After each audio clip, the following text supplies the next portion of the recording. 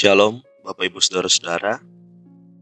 Bertemu kembali dalam Renungan Harian Toraya, edisi Rabu 9 Maret 2022. Pembacaan kita terdapat dalam Ayub 1 ayat ke-13 sampai dengan 22. Sebelum kita jauh membaca dan merenungkan firman Tuhan, terlebih dahulu kita minta kekuatan Roh Kudus dalam doa kita berdoa. Bapa dalam jalan surga, Bapa yang baik, sungguh teramat baik buat kehidupan kami. Kami bersyukur Tuhan, sampai hari ini kami boleh diperkenankan untuk membaca dan merenungkan firman.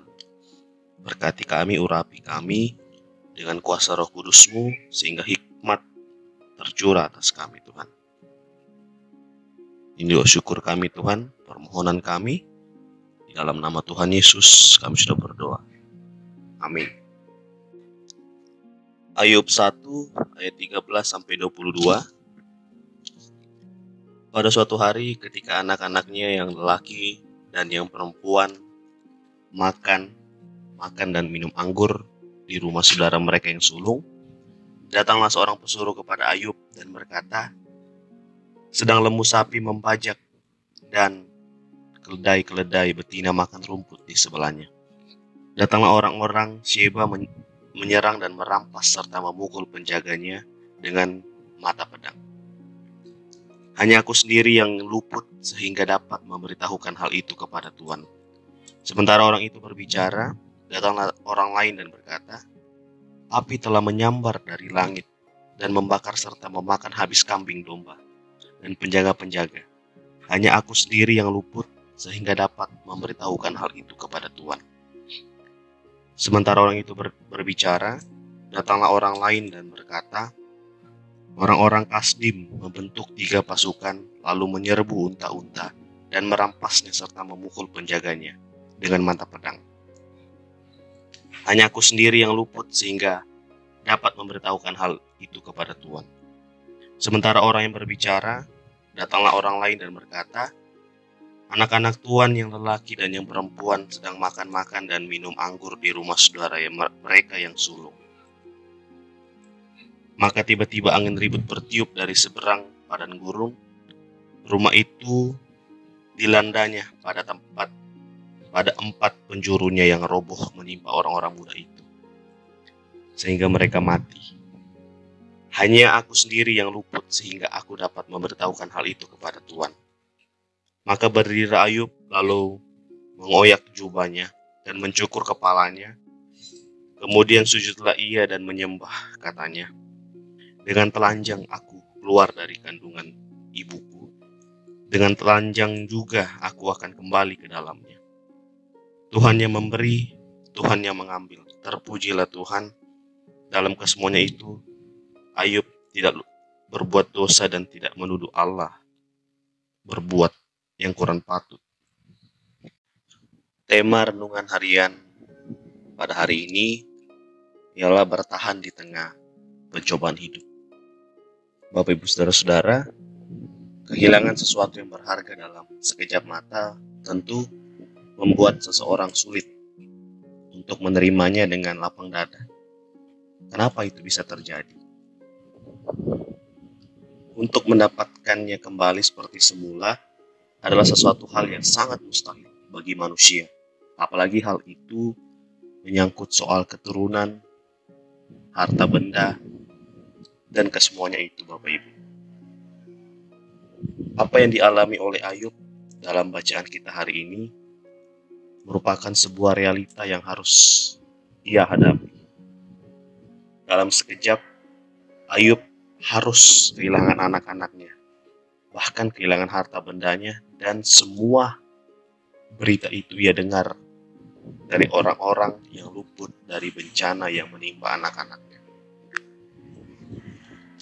Suatu peristiwa yang sangat tragis di luar akal pikir manusia. Ketika satu persatu diambil dari kehidupan Ayub, dijarah, mengalami kekerasan, sampai bencana yang membuat semua yang ia miliki habis hanya dalam waktu yang sangat singkat. Namun, yang luar biasa dari sikap Ayub dalam peristiwa ini yang kita dapat pelajari bersama bahwa ia Ayub sama sekali tidak mempersalahkan Tuhan. Dalam ketidakberdayaan Ayub atau bahkan dalam kelemahan dia, justru Ayub menyampaikan pengakuan imannya bahwa semua yang ia miliki adalah pemberian dari Tuhan. Dan karena itu, Ayub sadar bahwa kapan pun Tuhan dapat mengambil semuanya daripadanya. Itu kita bisa lihat dalam ayat 20 sampai dengan 22 pembacaan kita tadi. Melalui kisah ini, kita dapat belajar bahwa dalam kondisi apa pun hidup kita, tetaplah percaya kepada Allah, tetap peduli kepada kita, bahwa Allah itu sayang dan setia sampai akhir kepada kita biarlah hidup kita tetap mengingat kemurahan Tuhan yang tidak berkesudahan dalam hidup kita. Dan bahwa Allah telah memberikan semua dalam hidup kita, anak-anak, harta benda, dan semua itu bukti kasih Allah bagi kita dan keluarga kita. Janganlah pernah kita menuduh bahwa Allah berbuat yang kurang patut bagi kita. Sebab kita harus percaya bahwa Allah pasti akan mengembalikan semuanya kepada kita dengan cara yang berbeda. Mari, Bapak Ibu Saudara-saudara, kita sama-sama belajar bagaimana bertahan dalam iman menghadapi pencobaan hidup di tengah situasi saat ini.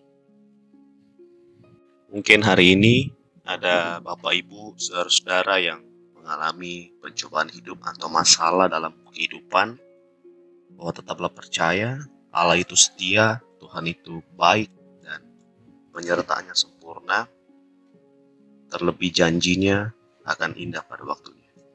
Amin firman Tuhan. Sebelum kita mengakhiri dan melakukan aktivitas kita, kita berdoa.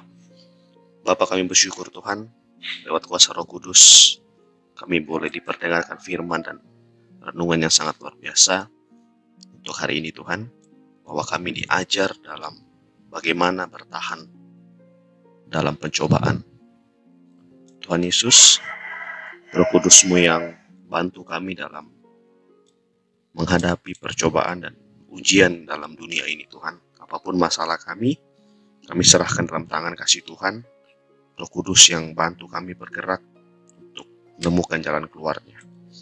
Terima kasih Tuhan buat anugerah dan kasih setiamu yang luar biasa buat kami. Ajar kami setia untuk sampai akhir Tuhan. Indo syukur kami Tuhan. Di dalam nama Tuhan Yesus kami berdoa. Haleluya. Amin.